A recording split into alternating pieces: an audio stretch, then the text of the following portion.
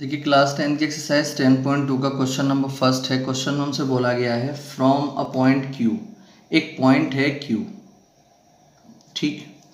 The length of the tangent to a circle is twenty four centimetre जो एक tangent खींची गई है एक सर्कल पर क्यू पॉइंट से, उसकी जो लेंथ है वो कितनी है?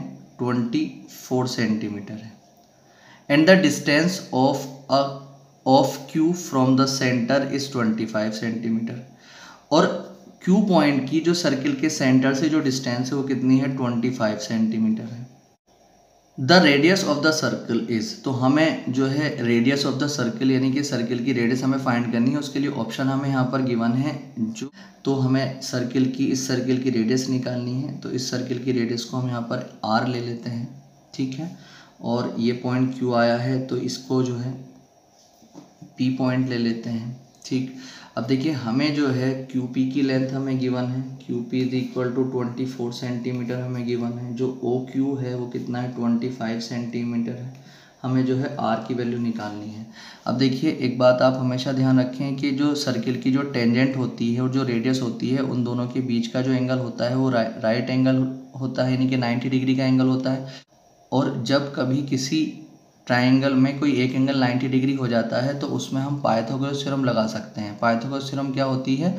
पाइथागोरस थ्योरम की मदद से हम, अगर हमें राइट एंगल ट्राइंगल की दो साइड्स मालूम है और तीसरी साइड हमें फाइंड करनी है तो हम उसको फाइंड कर सकते हैं, ठीक है? तो हमें यहाँ पर क्या करना पड़ेगा? पाइथागोरस थ्योरम लगानी पड़ेगी, क्योंकि यहाँ पर एक एंगल 90 डिग्री है, और जब पाइथागोरस थ्योरम लगाते हैं हम तो जो 90 डिग्री के सामने वाली लाइन होती है, उसका स्क्वायर हम right angle triangle Q P में काम कर रहे हैं तो 90 डिग्री के सामने वाली जो लाइन होती है, उसका स्क्वायर इक्वल होता है। बाकी जो दो साइड्स जो है 90 डिग्री को बनाती हैं, ये बना रही है, ये बना रही है, इन दोनों के स्क्वायर के सम के।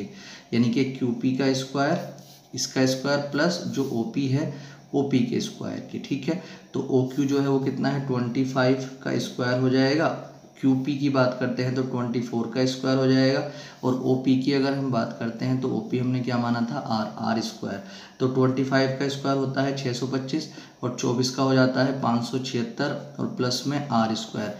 अब जब इसको 625 तो इधर ही है, जब इसको इधर लेकर के आएँगे तो ये माइनस का हो जाएगा, इज़ इक्वल टू में आर स्क्वायर। जब इसमें इसको माइनस करेंगे तो हम 49 आ जाएगा, is equal to r square. तो r square is equal to 49 लिख सकते हैं। हमें ये मालूम है कि अगर किसी के ऊपर स्क्वायर होता है तो उसके ऊपर से स्क्वायर हटाना होता है तो उसके ऊपर से स्क्वायर हटा के सामने वाले पे रूट आ जाता है। उसको हम सेवन इंटू सेवन लिख सकते हैं तो आर इज़ इक्वल टू कितना आ जाएगा? सेवन ठीक है? सेवन सेंटीमीटर तो इसलिए रेडियस जो आ जाएगी इज़ सेवन सेंटीमीटर तो ऑप्शन कौन सा सही हो जाएगा?